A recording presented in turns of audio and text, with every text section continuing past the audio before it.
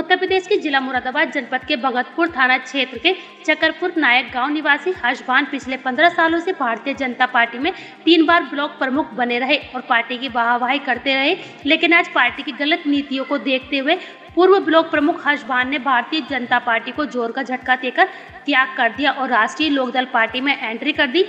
साथ ही साथ उनके वोटर और सपोर्टर भी उनके साथ में राष्ट्रीय लोकदल पार्टी में पहुँच गए, जिससे साफ़ तौर पर कहा जा सकता है कि भारतीय जनता पार्टी को बड़ा ज़ोर का झटका लगातार अब उत्तर प्रदेश में भी लगता जा रहा है।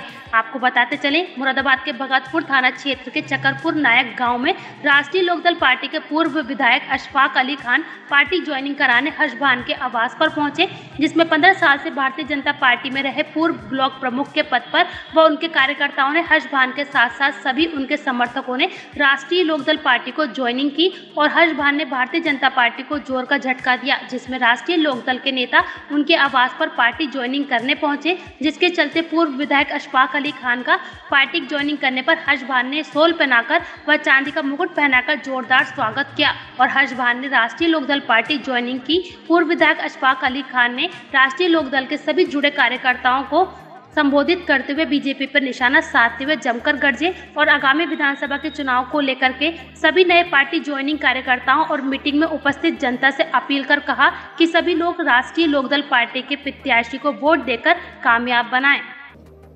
देखिए, उनकी दावेदारी आज तक एक बार वो धोखा और क्षणिक छदम में बातें करके उन्होंने चुनाव जीता है 2014 में आदरणीय मोदी जी आज के प्रधानमंत्री तशरीफ़ लाए, वो आए, उन्होंने बड़े ख्वाब दिखाए ना पंद्रह हज़ार नौकरियाँ, उनके लिए पंद्रह लाख रुपए, ना दो करोड़ नौकरियाँ, ना गरीबों के लिए, ना काला धन, कुछ नहीं वो कर पाए।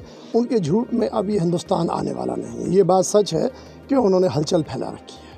वो हलचल अब थमने वाली है और जहाँ तक किसान की बात है, किसान के साथ आज़ादी से लेकर अब तक, या आज़ादी से पहले तक भी कभी किसान के साथ जुल्म इतना नहीं हुआ। जो राजा बैठा, उसने किसान की सुनी, लेकिन आज की हुकूमत के बादशाह किसान की नहीं सुन रहे हैं। वो और बातें करेंगे, मन की बात करेंगे, लेकिन शहीद होते किसानों की बात नहीं करेंगे। इसकी सज़ा हिंदुस्तान की आवाम उन्हें यकीन देगी और वो काले जो काले कानून की बात करेंगे, जो तीन कानून हैं, वो तीन कानून सरकार ने खुद नहीं थोपे हैं। सरकार उद्योगपतियों की मोहताज है। इस लिहाज से वो लेके आए हैं, लेकिन यकीनन या तो कानून सरकार ये बदलेगी, नहीं तो आने वाली सरकार बदलेगी। कानून तो बदलना ही है। फिर जिस तरीके से महँगाई भी बढ़ रही है सरकार में, उस पर क्या कहना चाहेंगे व्यापारियों के शिकंजे में सरकार है। वो आम जनता की सरकार नहीं, जबकि चुनी हुई सरकार प्रजातंत्र में राजा के घर में राजा पैदा नहीं होता है। लेकिन उन्होंने ये परंपरा डाल दी है, हिंदुस्तान को दो आदमी बेच रहे हैं, दो आदमी खरीद रहे हैं। व्यापारियों के दबाव में है, जो बड़े उद्योगपति तानाशाह हैं तो उन्हें महँगाई से कोई ताल्लुक नहीं है। हिंदुस्तान की आवाम मरे, रहे या जाए, उनकी सरकार वो अपनी सलामती चाहते हैं उद्योगपतियों के साय में, लेकिन किसान ऐसा होने नहीं देगा। अच्छा मुरादाबाद आए हैं। क्या मुरादाबाद की जनता से अपील करना चाहेंगे? विधानसभा का चुनाव भी करीब है, आपके कार्यकर्ता भी मौजूद हैं। इन लोगों को कुछ बताइए। मेरे कार्यकर्ता नहीं, मेरे साथ मेरे नेता मौजूद हैं। हर्षवान सिंह साहब हमारे दल में हैं, हमारे दल के नेता हैं। वरिष्ठ हैं और आदरणीय मनोज चौधरी जी हमारे ज़िले के अध्यक्ष हैं और तमाम यहाँ पर हरिशोधन सिंह साहब, बाबूजी बड़े प्रमुख साहब और सब लोग यहाँ पर मौजूद हैं। ये पैगाम देना चाहूँगा कि मेरे नेता किसानों का, गरीबों का अकलीतों की हिमायत करने वाले नेता आदरणीय जयंत चौधरी जी हैं, उनके नक्श कदम पर चलेंगे और आवाम को यकीन दिलाते हैं कि आने वाले वक्त में ये अत्याचारी, दमनकारी जो सरकार है, इसको हम सब मिलकर हटाएँगे और एक खुशहाल भारत बनाएँगे। अच्छा राष्ट्रीय लोकदल कौन सी पार्टी से मिलकर के सरकार लाने की बात कह रही है?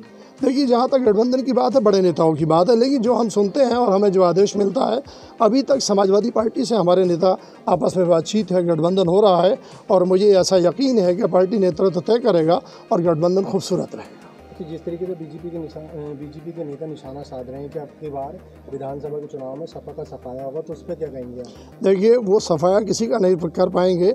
उनकी ज़ुबान लंबी होती चली जा रही, काम छोटे।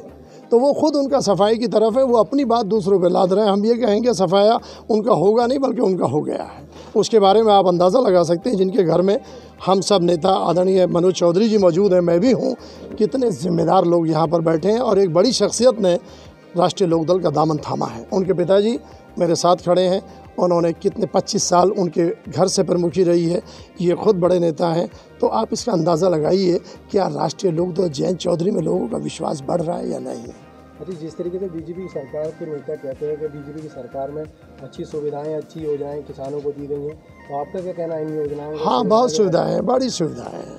उन पर गौर कर लीजिए एमएसपी की बात होगी व्यापारी लिखकर बेचता है। उद्योगपति पार्ले जी के बिस्कुट पे लिखेगा, पाँच रुपये का होगा और किसान की ये हालत होगी, अपना गेहूँ भी नहीं बेच पाएगा।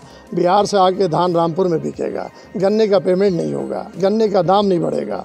यूरिया खाद के दाम दूने होंगे और पाँच किलो कटौती होगी, डाई महँगी होगी, मंडियाँ उजड़ जाएँगी, व्यापारियों के हाथ में सब भंडारण चला जाएगा। किसान को बर्बाद करने पे तुले अच्छा आपकी पार्टी किस मुद्दों पर चुनाव लड़ेगी? देखिए, सिर्फ़ साफ़ सुथरा भारत कृषि प्रधान देश है, बल्कि ये कहा जाता है गणित के मुताबिक हिंदुस्तान सत्तर फ़ीसदी खेती करता है। मैं कहता हूँ, सौ फ़ीसदी लोग किसान पेशे से जुड़े हैं, कोई डायरेक्ट, कोई इनडायरेक्ट। जहाँ तक मुद्दों की बात है, ये किसानों की अकलियत की, कामगारों की, मजदूरों की पार्टी है। इसमें सबसे पहले किसान का हित साधेंगे अकलियत को सम्मान देंगे, कामगारों को काम देंगे, मजदूरों का सम्मान करेंगे, ये हमारे मुद्दे हैं। शिक्षा नीति और जहाँ तक अभी मेमोरेंडम में आया है, जो हमारा संकल्प पत्र है, उसमें आदरणीय मनोज जी से आप बात करेंगे तो बताएँगे कि 300 यूनिट आने वाले वक्त में हम फ्री में देंगे। यूपी में विडंबना साढ़े सात रुपये यूनिट बिजली होगी, बीजेपी की सरकार होगी, हरियाणा में बीजेपी की सरकार है, वहाँ पर साढ़े तीन रुपये यूनिट बिजली होगी, हिमाचल में सवा तीन रुपये बिजली होगी और हमारे यहाँ जुल्म होगा। किसानों का बिल, हमारे यहाँ अब जा रहा है पच्चीस हज़ार रुपये सालाना। जब हुकूमत ये आई थी, जब सात हज़ार रुपये सालाना था, सम्मान निधि देंगे, पाँच सौ रुपये बिल लेंगे, पच्चीस हज़ार रुपये बर्बादी के अलावा और क्या है क्या है? मैं आपका? हर्षभान सिंह। आज आपने पार्टी ज्वाइनिंग की है किस तरीके की अपील करना चाहेंगे जनता से जो आपके कार्यकर्ता हैं आपसे नीचे उन, उनको क्या मैसेज देना चाहेंगे? नहीं मैसेज ये मैसेज तो सब जानते हैं कि बीजेपी जो है धोखेबाज पार्टी है और किसानों की विरोधी है। कि 2014 में जब मोदी जी चुनाव लड़े थे सबसे पहला तो उन्होंने कहा था हम 2022 में किसान की आमदनी दुगनी करेंगे। लेकिन जो उन्होंने कहा वो सुना किसी ने नहीं। उन्होंने कहा था दुगनी कम करेंगे। क्योंकि सपा की गवर्नमेंट जब थी तो किसान का जो गेहूँ था वो पच्चीस सौ रुपये कुंटल के करीब पहुँच चुका था। और जो धान था वो 2000 के आसपास बिकता था।